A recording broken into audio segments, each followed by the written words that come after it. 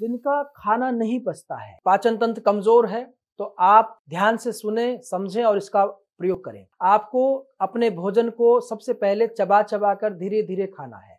दूसरा, आपके भोजन में फाइबर की मात्रा होनी चाहिए, अर्थात छिलके वाली दालें हो, बिना छिलके की दालें नहीं खाएँ और आटा जो आप लेते हैं, उसमें भी आप जो चोकर छान लेते हैं, उसको न छाने। अगर किसी ने छान लिया तो उसको वापस चोकर मार्केट से मिल जाता है, स्पेशल फाइबर मिलता है, उसको आप मिक्स कर लें। और गर्मियों में तो खास तौर पर जौ का आटा बिना छना हुआ ही आप प्रयोग करें। तो फाइबर आपके पाचन तंत्र को मज़बूत करता है।